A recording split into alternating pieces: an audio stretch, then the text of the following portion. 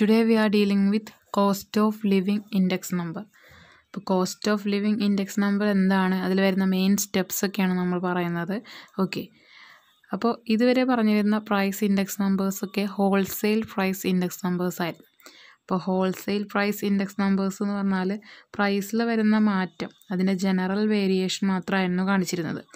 Discussed only the general variation present in the price level okay അപ്പോൾ അത്തരത്തിലുള്ള wholesale price index നമ്പേഴ്സൊക്കെ ജനങ്ങളുടെ ജീവിതത്തിന്റെ അല്ലെങ്കിൽ ജീവിതത്തെ അല്ലെങ്കിൽ കോസ്റ്റ് ഓഫ് ലിവിങ്ങിനെ എങ്ങനെയാണ് ബാധിക്കുന്നത് എന്നുള്ളത് എക്സ്പ്ലെയിൻ ചെയ്തിരുന്നില്ല. അപ്പോൾ അത് എക്സ്പ്ലെയിൻ ചെയ്യാൻ വേണ്ടിയിട്ടാണ് cost of living index number കൊണ്ടുവന്നിട്ടുള്ളത്. അതായത് എങ്ങനെയാണ് പ്രൈസിൽ വരുന്ന മാറ്റം? പല രീതിയിൽ പല വിധത്തിലുള്ള ക്ലാസ്സുകളുണ്ടല്ലോ ആ ക്ലാസ്സസ് ഓഫ് പീപ്പിളിനൊക്കെ ബാധിക്കുന്നത് അവരുടെ കോസ്റ്റ് ഓഫ് ലിവിങ്ങിനെ എങ്ങനെയാണ് ബാധിക്കുന്നത് എന്ന് എക്സ്പ്ലെയിൻ ചെയ്യാൻ വേണ്ടിയിട്ടാണ് cost of living index number കൊണ്ടുവന്നിട്ടുള്ളത്. ഓക്കെ. അപ്പോൾ നമുക്കറിയാം പല ഗ്രൂപ്പ്സ് ഓഫ് പീപ്പിളുണ്ട്. പല കാറ്റഗറി ഓഫ് പീപ്പിളുണ്ട്. ഹൈ ക്ലാസ് ഉണ്ട് മിഡിൽ ക്ലാസ് ഉണ്ട് അല്ലേ ലോവസ്റ്റ് ക്ലാസ് ഉണ്ട്. ഇവരെല്ലാം സാധനങ്ങൾ വാങ്ങുന്നത് പല രീതിയിലായിരിക്കും. അവിടെയൊക്കെ കോസ്റ്റ് ഓഫ് ലിവിങ് എന്ന് പറയുന്നത് ഡിഫറെന്റ് ആണ്.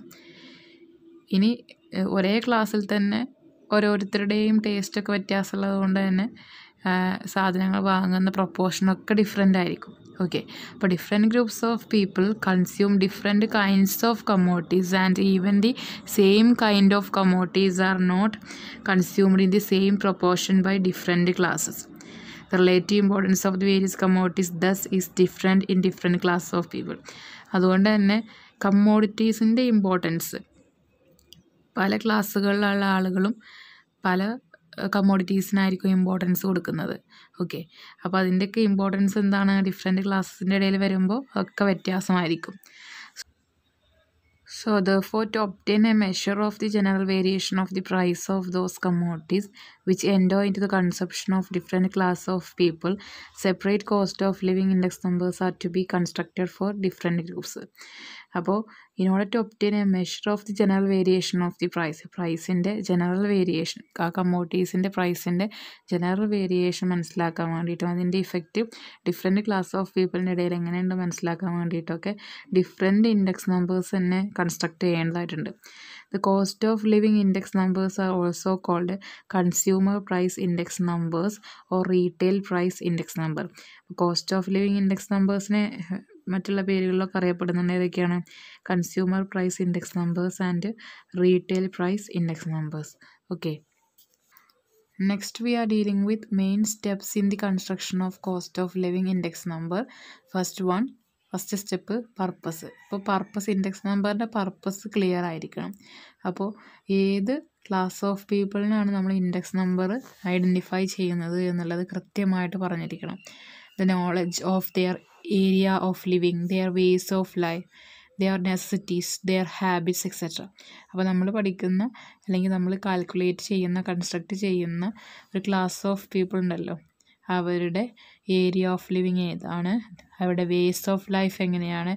അവരുടെ അത്യാവശ്യ ഘടകങ്ങൾ നെസസിറ്റീസ് എന്തൊക്കെയാണ്? അതേപോലെ ഹാബിറ്റ്സ് എന്തൊക്കെയാണെന്നുള്ളത് നമ്മൾ ക്ലിയർ ആയിട്ട് അറിഞ്ഞിരിക്കണം.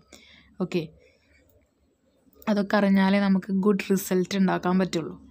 അപ്പോൾ പറ്റുകയാണെന്നുണ്ടെങ്കിൽ ഒരേ ഇൻകം ലെവലില്ല ഈക്വൽ ഇൻകം ഉള്ള ഇൻഡിവിജ്വൽസിനെ എടുക്കുകയാണെന്നുണ്ടെങ്കിൽ ഒന്നും കൂടി നന്നാവും. Okay second is base year base ഇയറിൽ വരുന്നത് എന്താണെന്ന് വെച്ചാൽ നമ്മൾ ഏറ്റവും നല്ല ബെസ്റ്റ് ആയിട്ടുള്ള ഒരു ബേസ് ഇയർ എടുക്കണം. അധികം ഫ്ലക്ച്വേഷൻസ് ഒന്നും ഇല്ലാതെ വരുന്നൊരു ബേസ് ഇയർ എടുക്കണം. ഇനി സിമിലർ ഇപ്പോൾ നമ്മളൊരു ടോപ്പിക് എടുക്കുകയാണെന്നുണ്ടെങ്കിൽ അതിൽ സിമിലർ സർവേ കണ്ടക്ട് ചെയ്യുന്നുണ്ട് ചെയ്തിട്ടുണ്ടോ എന്നുള്ളത് നോക്കുക. അങ്ങനെയാണെന്നുണ്ടെങ്കിൽ ആ ഒരു വർഷത്തിട്ട് ചെയ്താൽ മതി. ഇവിടെ പറയുന്നത് യു ജി സി സ്കീം പ്രകാരം ടീച്ചേഴ്സിനുള്ള സാലറി റിവൈസ് ചെയ്ത് നയന്റീൻ എയ്റ്റി സിക്സിലാണ്. ഓക്കെ. പിന്നെ pay സ്കെയിൽസിനെ of pay scales of the teachers nineteen eighty six is to be taken as the base year. അപ്പോൾ nineteen eighty six base year ആയിട്ട് എടുക്കുന്നു. Okay. Next family budget enquiry അപ്പോൾ ഒരു sample survey family budget എൻക്വയറിനെ കുറിച്ചിട്ട് എന്ത് ചെയ്യണം? Conduct ചെയ്യണം. ഓക്കെ അപ്പോൾ അതിൽ വരുന്ന ഐറ്റംസ് എന്തൊക്കെയാണെന്ന് വെച്ചാൽ food clothing fuel and lighting house rent and miscellaneous അപ്പോൾ ഇത്രയും കാര്യങ്ങൾ ഇൻക്ലൂഡ് ചെയ്യുന്ന അഞ്ച് ഐറ്റംസ് ഇൻക്ലൂഡ് ചെയ്യുന്ന ഒരു സാമ്പിൾ സർവേ കണ്ടക്ട് ചെയ്യണം. From the families of the concern class of പീപ്പിളും a sample of adequate size ഈ സെലക്ട് അപ്പോൾ സൈസ് സാമ്പിൾ സൈസും സെലക്ട് ചെയ്തിട്ട് ഇതിനെക്കുറിച്ചിട്ടുള്ള ഒരു സാമ്പിൾ സർവേ കണ്ടക്ട് ചെയ്യണമെന്നാണ് പറയുന്നത്. ഓക്കെ അപ്പോൾ ഏതാണോ നമ്മൾ എടുക്കുന്ന ഐറ്റംസ് അതിന്റെ ക്വാളിറ്റി എന്താണ് ക്വാണ്ടിറ്റി എന്താണ് എന്നുള്ളതൊക്കെ നോട്ട് ചെയ്യേണ്ടി വരും. ഈ ഫൈവ് ഗ്രൂപ്പ്സ് ഉണ്ടല്ലോ ഈ ഫൈവ് ഗ്രൂപ്പ്സിന്റെ ഇടയിൽ സബ്ബായിട്ട് തന്നെ അതിൽ തന്നെ സബ്ബായിട്ട് വേറെ പല ഗ്രൂപ്പ്സും വരാം. ഇപ്പോൾ എക്സാമ്പിളായിട്ട് പറയുന്നത് food include sugar pulses wheat rice etcetera miscellaneous group consist of movie medicines education and others So it should be remembered that non-consumption monetary transactions such as payments to insurance, provident fund etc. are not considered. അപ്പോൾ ഒരു കാര്യം ഓർത്ത് വെക്കേണ്ടത് non non consumption monetary transaction ആയിട്ടുള്ള payments to insurance provident fund ഒന്നും ഇതിൽ ഉൾപ്പെടുത്തുന്നില്ല എന്നുള്ളതാണ്. ഓക്കെ നെക്സ്റ്റ് വരുന്നത് prices the average price paid for each item is to be gathered from the shops of the region ഏത് ഏരിയയിലുള്ളതാണോ നമ്മൾ cost of living index number construct ചെയ്യുന്നത്. ആ ഏരിയയിൽ ആ അവിടുത്തെ ഷോപ്പിലുള്ള പ്രൈസ് എന്താണ്? ഈ കമ്മോഡിറ്റീസിന്റെ ഒക്കെ പ്രൈസ് എന്താണ്? ആവറേജ് പ്രൈസ് എന്നുള്ള എന്താണ് എന്നുള്ളത് നമ്മൾ അറിഞ്ഞിരിക്കണം. Okay the prices are retail prices അപ്പോൾ എല്ലാ ഷോപ്പിലും പോയിട്ട് ചോദിക്കുക എന്നൊക്കെ പറഞ്ഞാൽ റിസ്ക് അല്ലേ അപ്പോൾ ഏറ്റവും കൂടുതൽ ഫാമിലീസ് എവിടെ നിന്നാണോ വാങ്ങുന്നത് ആ ഒരു ഷോപ്പിലെ റീറ്റെയിൽ പ്രൈസ് എന്താണോ എന്നുള്ളത് അറിഞ്ഞിരിക്കുക എന്നുള്ളതാണ്. Okay the shops where many of the families buy and most likely price in those shops are to be noted before finding their average. അപ്പോൾ ഇതിൽ വേറെ കുറച്ച് കാര്യങ്ങളും പറയുന്നുണ്ട്. അതായത് ഏറ്റവും എക്സ്പീരിയൻസ്ഡ് ആയിട്ടുള്ള ആളുകൾ അല്ലെങ്കിൽ റെസ്പോൺസിബിലിറ്റി ഉള്ള ഒരു വർക്ക് ആയതുകൊണ്ട് എക്സ്പീരിയൻസ്ഡ് ആയിട്ടുള്ള റെസ്പോൺസിബിലിറ്റി ഉള്ള ആളുകളെ ഈ ഒരു വർക്ക് ഏൽപ്പിക്കണം. അതായത് cash prices are taken into account and not the credit prices which include interest നമ്മൾ എടുക്കുന്നത് ക്യാഷ് പ്രൈസസ് ആണ് അല്ലാതെ ക്രെഡിറ്റ് പ്രൈസസ് അല്ല. അതേപോലെ തന്നെ black market prices are to be taken as such if the items are essential and they are not available in the open market black market പ്രൈസസും എടുക്കും. ഏത് സിറ്റുവേഷനിലാണ് അതും കൺസിഡർ ചെയ്യണം. ഏത് സിറ്റുവേഷനിലാണ് നമ്മൾ വാങ്ങുന്ന ഐറ്റം എസെൻഷ്യൽ ആണ്. അതേപോലെ തന്നെ അത് ഓപ്പൺ മാർക്കറ്റിൽ കിട്ടാത്തൊരു ഐറ്റം ആണെന്നുണ്ടെങ്കിൽ ബ്ലാക്ക് മാർക്കറ്റ് പ്രൈസും ഇൻക്ലൂഡ് ചെയ്യണം. അതേപോലെ ഡിസ്കൗണ്ട്സും റിബേറ്റ്സും ഇൻക്ലൂഡ് ചെയ്യണം എന്നുള്ളതാണ് പറയുന്നത്. നെക്സ്റ്റ് വരുന്നത് average both arithmetic mean and geometric mean can be used the former owing to its ease of calculation and the latter owing to its suitability അപ്പോൾ നമ്മൾ അരിത്മാറ്റിക് മീനും ജോമെട്രിക് മീനും എടുക്കുന്നുണ്ട്. ഇതിൽ അരിത്മാറ്റിക് മീൻ എന്ന് പറഞ്ഞാൽ കാൽക്കുലേഷൻ ഈസിയാണ് ജോമെട്രിക് മീൻ എന്ന് പറഞ്ഞാൽ it owing to its suitability the next നമ്മൾ പറയുന്നത് ഫോർമുല ഏത് ഫോർമുലയാണ് ചൂസ് ചെയ്യേണ്ടത് എന്നുള്ളതാണ്.